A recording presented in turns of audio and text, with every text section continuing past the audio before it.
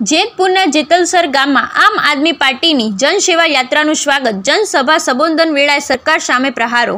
સોમનાથથી અંબાજી સુધીની પ્રારંભ થયેલ આમ આદમી પાર્ટીની જનસેવા યાત્રા જેતલસર ગામ પહોંચી હતી. ત્યાંની બાળાઓ અને લોકો દ્વારા ઢોલ નગારાની સાથે તમામ નેતાઓનું સ્વાગત કરવામાં આવ્યું હતું.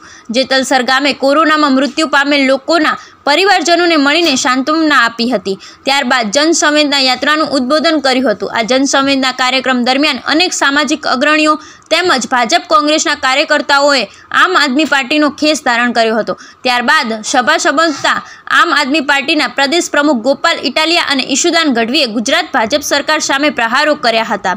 આમ આદમી પાર્ટી જાણે આગામી વિધાનસભાની ચૂંટણીની તૈયારી કરી રહી હોય તેમાં સભામાં દિલ્હીની કેજરીવાલ સરકારના વખાણ કરતા ગુજરાત ભાજપ સરકારને આડે હાથ લીધી હતી.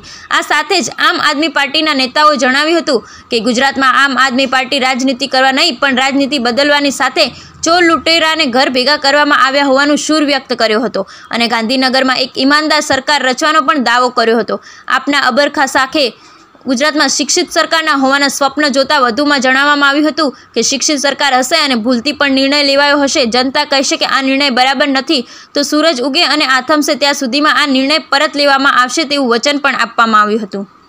રિપોર્ટર વિક્રમસિંહ ચુડાસમા જેતપુર.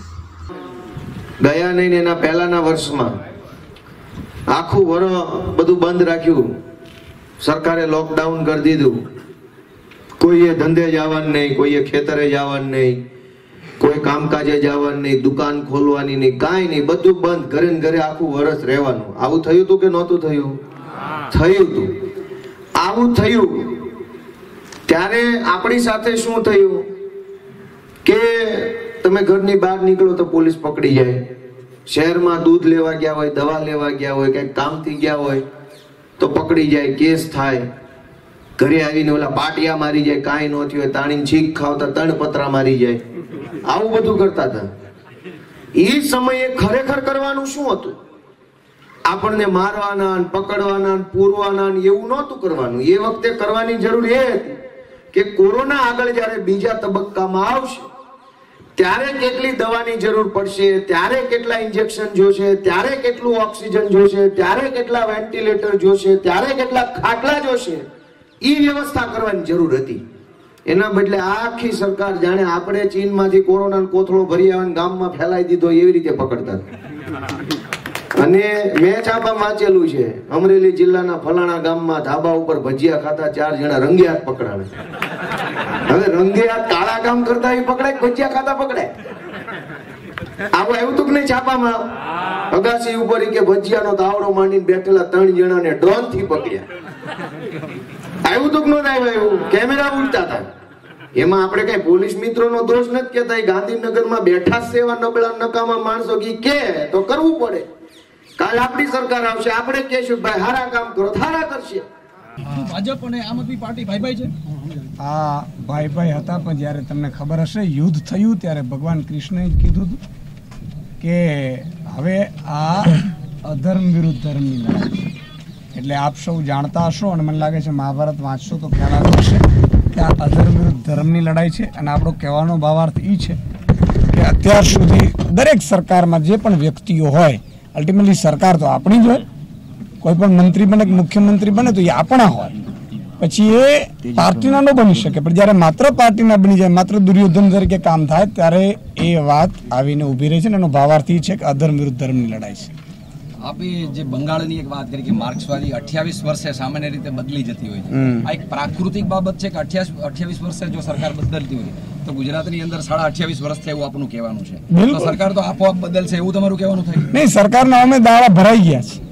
મારો કહેવાનો સ્પષ્ટ છે કે અત્યાર સુધીના ઇતિહાસમાં જ્યારે દાડા ભરાઈ જાય ને ત્યારે ઈમાનદાર પાર્ટી ઉતરે. અને આમ આદમી પાર્ટી અત્યારે આવી છે એ સ્પષ્ટ છે. કે દાડા ભરાઈ ગયા છે ને તમે જે રીતે આમ આદમી પાર્ટીને જે અત્યારે જન સમર્થન મળી રહ્યું છે, જે રીતે અત્યારે ક્યાં કોંગ્રેસના કોઈ નેતા ઉપર હુમલા નહોતા થતા કારણ કે એમને ડર જ નહોતો. પણ અત્યારે આમ આદમી પાર્ટીના આજે જ અમારા સંસ્થાપક કિશોરભાઈ દેસાઈ છે, એમની ગાડી રાત્રે કાચ ફોડી નાખવામાં આવ્યા. એની ગાડી ઉપર હુમલો થયો છે, જો કે પોતા સદનસીબે નથી. તો સ્વાભાવિક છે કે ડર અત્યારે પેસી ગયો છે અને ભાજપ જાય છે ને આપ આવે છે એ નક્કી છે. જેતપુરની ધારાસભાની સીટ લાંબા સમયથી, એટલે કે ત્રીસ વર્ષથી ભારતીય જનતા પાર્ટીનો ગઢ જ કહેવાય છે. અત્યારની વાત કરીએ તો જેતપુર શહેર, એટલે કે આપ જેતપુર તાલુકામાં પણ છો, તો અહીંયા આમ આદમી પાર્ટીના જેતપુરના અંદર પણ કાર્યકર્તાઓ હશે, હોદ્દેદારો હશે, પદાધિકારીઓ હશે. અત્યાર સુધીમાં જેતપુર શહેરની આમ આદમી પાર્ટીએ એક પણ કાર્યક્રમ શહેરની અંદર નથી આપેલું. જ્યારે કે અત્યારે ચારે તરફ ભ્રષ્ટાચારને અત્યારે ખાસ કરીને વાત કરીએ તો સમગ્ર ગુજરાતની અંદર ક્યાંય ટેક્સ નથી એવો જેતપુર નવાગઢ નગરપાલિકાએ ટેક્સ નાખ્યો છે. એમાં પણ આમ આદમી પાર્ટી તરફથી કોઈ પણ પ્રકાર આગામી એકસો બ્યાસી વિધાનસભા અમારી ફોકસ રહેશે ને આગામી સમયમાં અમારા દરેક કાર્યક્રમો પણ થશે. અત્યારે અત્યારે જનસંવેદના મુલાકાત છે અત્યારે સાંત્વનાવાળી વાત છે. આ દોઢ બે મહિના અમારી ચાલવાની છે. એ બિટવીન અમારે એકાદ કાર્યક્રમ થશે ને, પછી પણ અમે કાર્યક્રમ કારણ કે અત્યારે સાતમના પાઠવવાનો છે. કારણ કે અહીંયા કોઈ ભાજપના સરકાર કે નેતાઓ હોવા છતાં પણ અહીંયા આ લોકોએ સાતમના નથી પાઠવી અને મને લાગે છે કે એ બહુ જરૂરી છે. અને પેકેજ પણ આગામી સમયમાં જેમ અરવિંદ કેજરીવાલજીએ જાહેર કર્યો છે, એનાથી પણ સારું ગુજરાતમાં અમે સંશોધન કરીને આગામી બે હજાર બાવીસમાં જ્યારે સરકાર બનશે, ત્યારે એ આપવાની ખાતરી પણ અમે અમારા ગોપાલભાઈએ માન્ય અધ્યક્ષશ્રીએ આપી છે. આપના યુવા અધ્યક્ષે રાજીનામું આપ્યું એવું સોશિયલ મીડિયામાં વાયરલ થયું. એના વિશે શું કહેશો? એ અલ્ટિમેટલી અત્યારે એમને અનવર ખાને જે રીતે જે મુશ્કેલીઓ હશે એ સોલ્વ કરવામાં આવશે. મને અત્યારે હજી ખ્યાલ નથી આવ્યો કારણ કે હું પ્રવાસમાં હતો.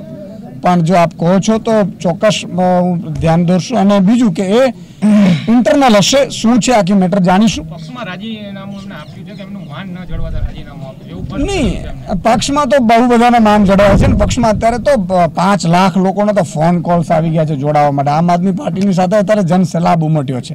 અને અત્યારે જો આમાં ભાજપ કદાચ કંઈક કરતું હશે ખબર નહીં. પણ આગામી સમયમાં દરેક આમ આદમી પાર્ટીના કે કાર્યકર્તાને પણ કહું છું મારી અપીલ છે કે માન અપમાન આ બધું ભૂલી અને બે હજાર બાવીસમાં જનતાની પીડાને આપણે મહત્વ આપવાનું છે, જનતાના મુદ્દાને મહત્વ આપવાનું છે અને જનતા જો જનતાની પીડા સમજતા હોઈએ તો હું એમ કહું છું કે નાની નાની વાતો, એમ તો તમે જુઓ અત્યારે હર્ષવર્ધનને હટાવી દીધા મંત્રી.